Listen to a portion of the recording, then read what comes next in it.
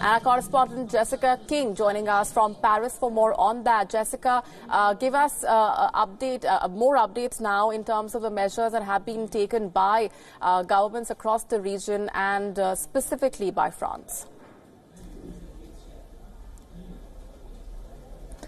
Well, the coronavirus just continues to spread here in France, which will no doubt be causing concern uh, for the government and health ministers here. As you mentioned, a big spike in the past 24 hours, uh, up to 191 confirmed cases, and that was uh, rising from a total of 130 a day earlier. So that will certainly be causing concern. We also have a third death confirmed uh, from COVID 19. This was an 89 year old uh, patient who went into hospital with respiratory problems it was only sadly after she died that they made the link with coronavirus. But this lady was also from the Oise uh, region of France. Uh, she was about 80 kilometers northeast of Paris, and this is an area uh, that has seen a large number of clusters of cases. So, an area that uh, authorities will be very keen to try and stop the spread of coronavirus there.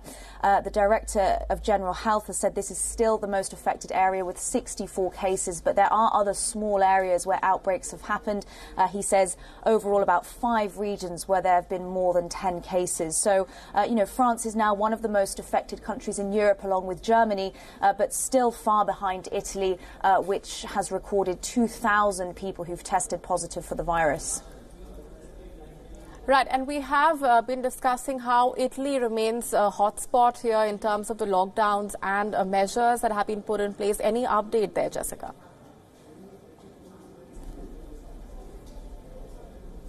Well, France has decided not to close borders with Italy. Uh, they don't think that that's a sensible measure, but there has been some criticism of how the government is handling its response here in France uh, to the coronavirus, with some people saying that they should be closing the borders and they should be doing more. They should be checking people's temperatures if they come over uh, into France. and I think, you know, the, the, spike that we've seen over the past 24 hours uh, will certainly be worrying a lot of people. The Fr French government have put in measures to curb the spread, of course. Uh, schools in affected area have in affected areas have been closed.